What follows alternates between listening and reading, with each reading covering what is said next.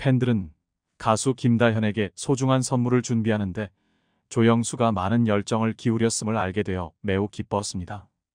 본선 진출자, 10인 유출, 시청자들의 궁금증 결선 진출자의 이름을 추측하는 것은 그리 어렵지 않을 것입니다. 언제나 투표 순위에서 1위를 달리고 있는 전유진을 무시할 수 없습니다. 또한 새로운 장르에 대해 과감히 도전하는 린 역시 버릴 수 없는 인물입니다. 지금 가장 기대되는 김다현. 모든 팬들이 김다현에게 매우 큰 기대를 가지고 있음을 강조해야 합니다. 그는 한국의 자랑스러움을 일본에 전달할 여가수입니다. 현재 김다현이 여론조사 선두를 달리며 유력한 우승 후보다 현역 가왕과 그 어느 때보다 뜨겁다. 세월 베고 길게 누운 굴을 한 조각 은쇼를 새로운 차원으로 끌어올렸다. 다현님께서 불러주신 세월 베고 길게 누운 구름 한 조각이라는 곡은 동영상 조회수가 단 하루 만에 100만을 넘어서는 대단한 성과를 이루었습니다. 그만큼 온 국민의 마음에 감동을 주고 계속 듣고 싶은 노래이기 때문에 이와 같은 데 신기록을 세우고 있다고 생각하는데요. 다현의 가창 스타일은 독특하며 그것은 듣는 이들의 마음에 닿고 정복합니다.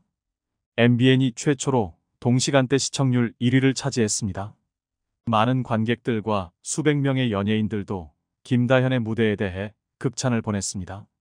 많은 연예인들이 김다현에게 표를 요구하기 시작했다. 김다현이 전유진을 누르고 투표 순위 1위에 오른 이유이기도 하다.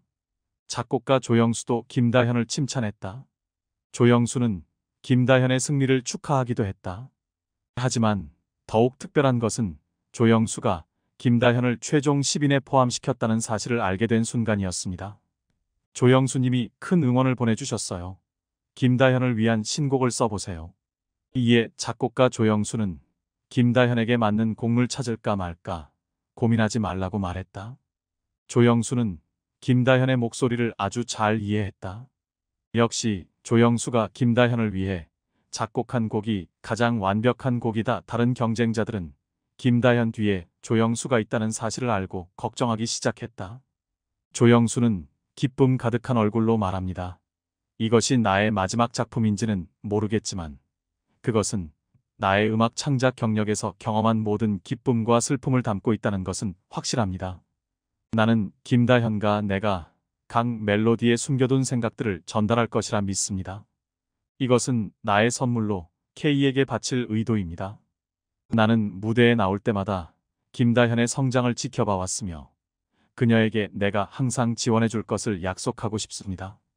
김다현은 아직 두 가지 큰 과제를 안고 있다. 한 개의 솔로 대회와 한 개의 듀엣 대회가 포함됩니다. 점수는 대회의 두 개 부분으로 계산되며 가장 높은 점수를 얻은 참가자가 승리합니다. 또한 관객 투표는 점수의 20%만을 반영합니다. 이는 김다현의 큰 장점 중 하나입니다. 또한 결승전에서 최종 7위는 승리를 위한 임무를 수행하게 됩니다.